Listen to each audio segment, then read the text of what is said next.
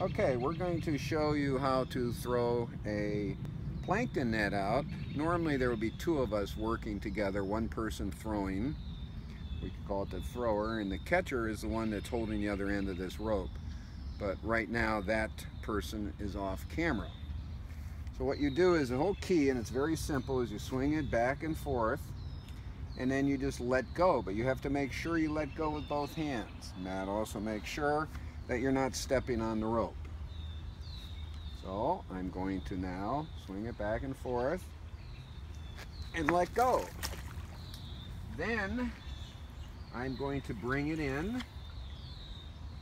And if there's other debris, you want to try to avoid it, but where we are now, there isn't.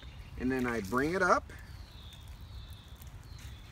The other person that's off camera would uh, then bring the actual um, container that we're going to put this in but I've rolled it up so you can see the top. That's where the plankton are going to be in there.